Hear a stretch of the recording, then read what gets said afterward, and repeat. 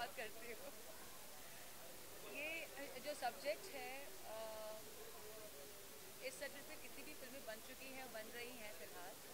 और ये बहुत ही इम्पोर्टेंट सब्जेक्ट है when you say no means no और कोई भी लड़की जो है या औरत है या बच्ची है, जो फीमेल है, वो उसको आप ऑब्जेक्टिफाई नहीं कर सकते हैं।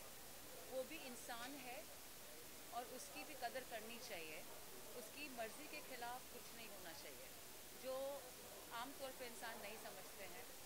ये बात मैं इसलिए कह सकती हूँ क्योंकि थोड़ा सा रेफरेंस अलग करके मैंने हंटर की थी और मैंने सविता का रोल किया था। तो उस चक्कर में मुझे पता है कि मुझे कितना झेलना पड़ा अभी तक मैं झेल रही हूँ उस चीज़ को, क्योंकि वो एक किरदार था और किरदार के साथ एक्टर अलग हो जाता है, पर आप उसको एक इंसान की तरह नहीं देखते, आप उसको किरदार की तरह से देखते हैं। So respect that's more important मुझे बहुत अच्छा लगा कि ये सब्जेक्ट फ़िल्म बनी है और आजकल मीडियम्स बहुत खुल गए हैं डिफरेंट प्लेटफॉर्म्स खुल गए हैं। सो so, उसमें अगर ये जो डिसीज़न लिया है फ़िल्म के अंदर अबाउट कि रेपिस्ट जो हैं उनको ख़त्म कर देना चाहिए। ना रहेगा बास ना रहेगी बस